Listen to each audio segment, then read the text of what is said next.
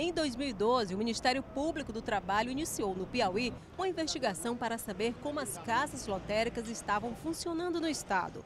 Na época, 140 acordos foram ajuizados e firmados termos de ajuste de conduta, obrigando aos donos a equipar os estabelecimentos com equipamentos de segurança. A ideia era garantir um ambiente seguro para quem trabalha e para quem utiliza os serviços das casas lotéricas. Passados dois anos desse trabalho iniciado junto às lotéricas, o Ministério Público do Trabalho volta para fazer um complemento dessa atividade.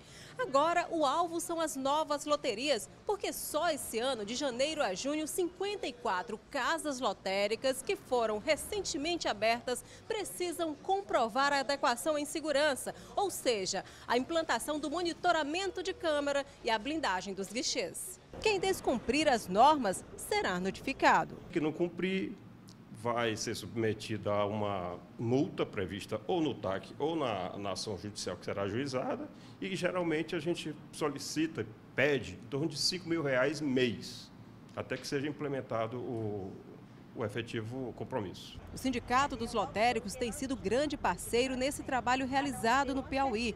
De acordo com a presidente Maria dos Anjos, as lotéricas antigas já estão cumprindo as medidas do Ministério do Trabalho. Essa orientação também parte da Caixa Econômica Federal para os novos investidores do ramo. Todos estão adequados na forma da lei, tanto no, na blindagem como no monitoramento das câmaras.